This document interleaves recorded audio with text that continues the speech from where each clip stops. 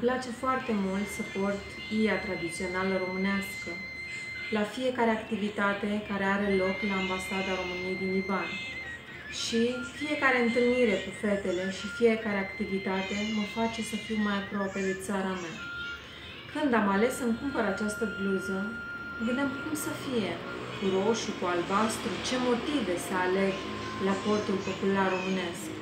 Și doamna de acolo de la magazin mi-a zis, dar întotdeauna când vreți să alegeți o ie românească, alegeți din zona din care proveniți.